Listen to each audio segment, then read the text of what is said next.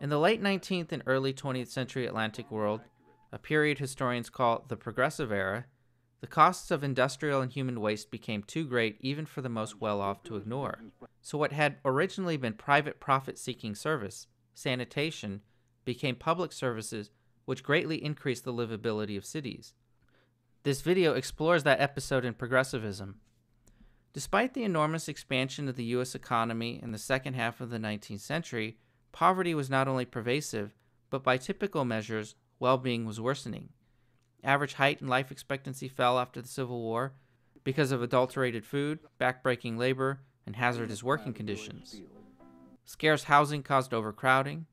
In Chicago, horses, mules, and cows produced more than 600,000 tons of manure a year. In New York, scavengers had to remove 15,000 dead horses in 1880 alone. For many cities, it was common to dump garbage on vacant lots or near the least desirable neighborhoods. Pigs roamed freely, slaughterhouses spewed noxious fumes, and vermin infested dwellings. The city was an environment for private money making, and its government was to encourage private business.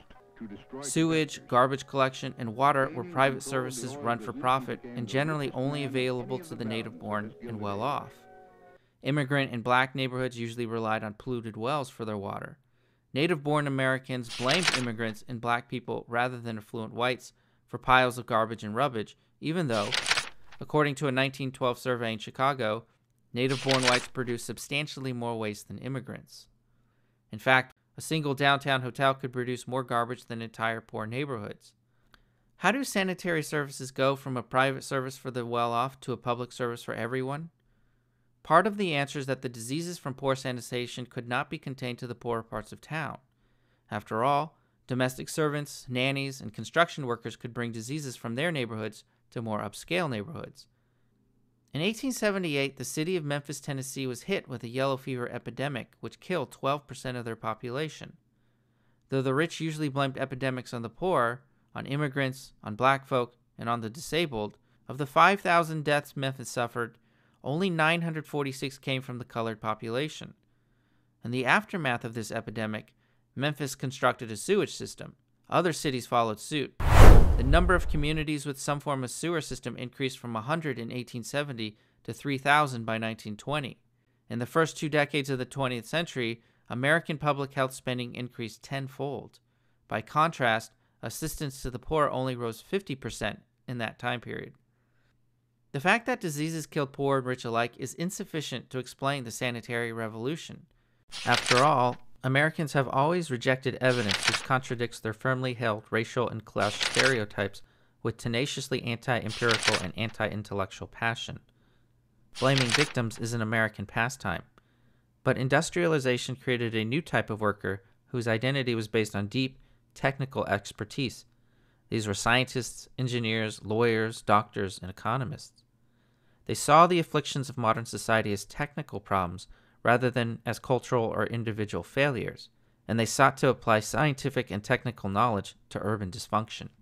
Medical historians have argued that a critical disjuncture in public health came after 1880 when the germ theory of disease, which attributed illness to microscopic organisms such as bacteria and viruses, replaced the miasma theory of disease, which blamed epidemics on bad smelling air. Miasma was easily correlated with the supposedly poor hygiene of the poor, lending itself to moralization of disease.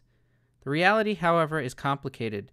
Doctors did increasingly subscribe to germ theory, but most still believed that disease was as much environmental as pathogenic, and the quest to clean up sources of bacteria and viruses, such as standing sewage and garbage, dovetailed with the conviction that getting rid of bad smells improved healthfulness.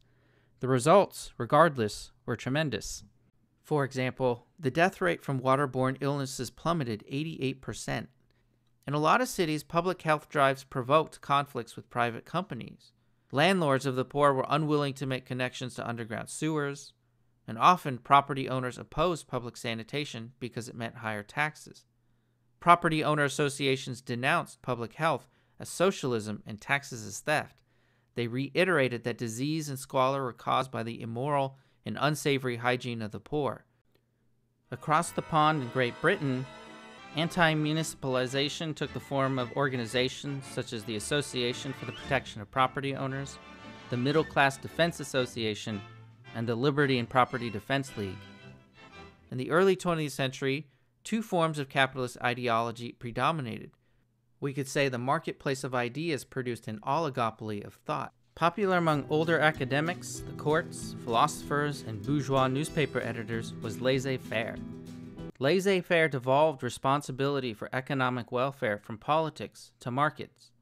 It says that we are all driven by self interest, that society is best when each person is allowed to act in his own self interest, that markets should be free, and that the invisible hand of the market is governed by universal natural law. Furthermore, attempts to ameliorate the inequalities of modern society through government policies usually only makes things worse. If things are bad, it is usually best to let the market sort it out. As famous British philosopher of liberty John Stuart Mill wrote, laissez faire should be the general practice. Every departure from it, unless required by some great good, is a certain evil. The doctrine of laissez faire was most infamously put to the test in 1870s India, where Viceroy of India Lord Lytton refused to intervene in a horrendous famine because he followed the teachings of economic philosopher Adam Smith, who wrote in The Wealth of Nations that famine has never arisen from any other cause but the violence of governments attempting, by improper means, to remedy the inconvenience of dearth. As 6 to 10 million Indians starved to death, grain merchants exported a record 640 million pounds of wheat from India to Europe. Many capitalists and bankers, most famously financial titan J.P. Morgan, rejected classical liberalism in favor of concentration and coordination. With so much capital invested in large operations such as railroads and industrial factories, unfettered competition threatened bankruptcy and economic busts by constantly driving prices below the minimum level necessary to recoup massive investments. So they believe capitalists should work together to keep prices stable and essentially plan the economy. Along those lines, JP Morgan coordinated dozens of major mergers in the late 19th century. Where these ideologies converged was on the idea that capitalists acting in their own self interest was best for society as a whole. They also asserted that natural law governed the economy and capitalists were merely servants of those laws. Both virulently opposed labor unions and government interventions in the economy that were not at the behest of capitalists. Progressives rejected this blatant naturalization of capitalist self interest. Of particular importance was the development of alternative ideas about political economy in the 1880s, when American graduate students learned at German universities about historical economics. Whereas neoclassical economics posits that there are universal laws which bind all societies, the German historical school contended that economies evolve according to their particular historical, political, and social institutions. The founder of the German Economic Association, Gustav von Schmoller, said that we need to think historically, contextually, and empirically about economic policy. For example, German historicists noted that countries such as Great Britain and the United States had protected their domestic industries and only shifted towards laissez faire when their economies achieved competitive advantages over competitors. In 1885, economists steeped in the German historical school founded the American Economic Association. The opening line of the American Economic Association was that we regard the state as an agency whose positive assistance is one of the indispensable conditions of human progress. What is interesting is that many of this younger generation of economists called themselves socialists. Now, they were not socialists in the market sense, nor were they even socialists in the sense of Eugene Debs. Just as Bernie Sanders supporters, most of whom are more New Deal liberals and social democrats than socialists, adopt the label of democratic socialism as a counter to the pervasive influence of neoliberalism in both democratic and republican politics. To many progressives of the late 19th and early 20th century, socialism served as an antonym against competitive individualism. It meant that rather than the state being considered an extraneous, intervening, and exogenous force, the state could be a means to solve the problems created by industrial capitalism. And like the Bernie Sanders wing of the modern progressive movement, early 20th century progressives idolized Europe. They modeled sanitary reforms after British municipal efforts, which stemmed from sanitary investigations spearheaded by Edwin Chadwick in the 1840s, which showed that urban disease was caused by ecological factors such as polluted wells, standing sewage, and the airless warrens of inner courtyards. Propelled by sanitation science, cholera epidemics, and the fear that slums were morally contagious, British political authorities more tightly regulated the private city. They also constructed systems of reservoirs, aqueducts, mains, and filtration plants, and by 1905, Birmingham's public water system had twice the capitalization as the average of Britain's 50 largest industrial firms. A lot of different groups came together to produce a movement for universal sanitation. Voluntary citizens associations, reform clubs, and civic organizations formed environmental pressure groups. Women, in particular, spearheaded public sanitation, and they organized groups such as the Ladies' Health Protective Association. Since men's clubs viewed the city as an arena for business, men tended to support contracting out sanitation services to private companies. Private companies, in turn, cut costs by employing poorly trained workers and only cleaning main thoroughfares. Women, on the other hand, viewed cities as places where they had to live and to raise children, so they cared more about improving the healthfulness of cities than on profits. They pushed for municipalization of sanitation services over the contract system. Between 1880 and 1924, the proportion of cities with municipal garbage collection increased from 24% to 63%. The antitrust movement inspired by the populist movement also played a role. Though the populist movement was defeated in the 1890s, populist language and ideas still permeated public discourse. The fear that giant concentrations of capital, broadly referred to as trusts, threatened democracy and economic fairness haunted Americans of all walks of life. They worried that capitalists could bribe politicians, crush unions, and stifle consumption by directing revenues from wages to profits. The fact that sanitation services provided by private companies cost on average 40% more than those provided by municipal works reinforced the notion that trusts were taking over every aspect of American life and squeezing the public dry. Public outcry against the robber barons and the exploitation of the trust cast a shadow over private water companies, and again, this helped drive municipalization. In 1870, there were 244 public water works. By 1924, there was nearly 10,000. Transatlantically, the specter of radical anarchist and socialist movements incited reforms.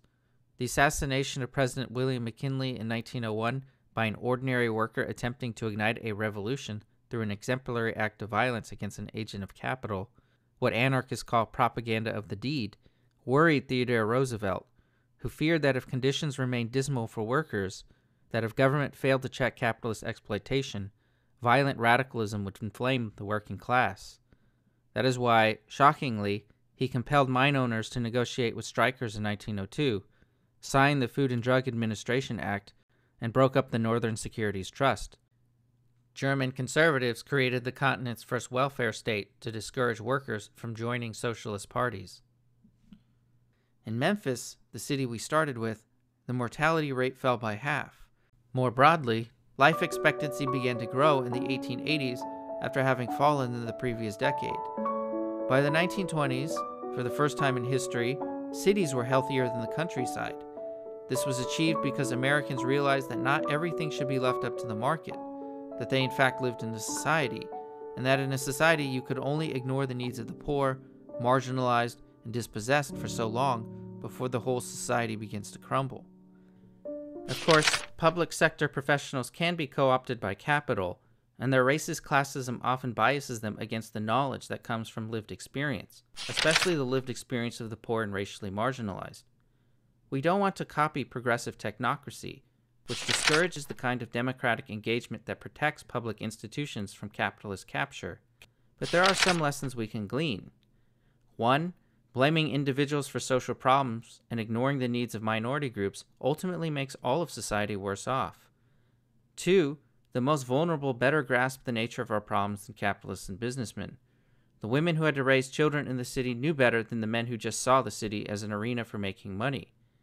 Today, reform is big business, and in areas from education to poverty reduction, reform peddling huckster entrepreneurs are legion. We should tell them to shut up. Three, we should listen to actual experts, people whose credibility derives from their credentials rather than their connection to capital.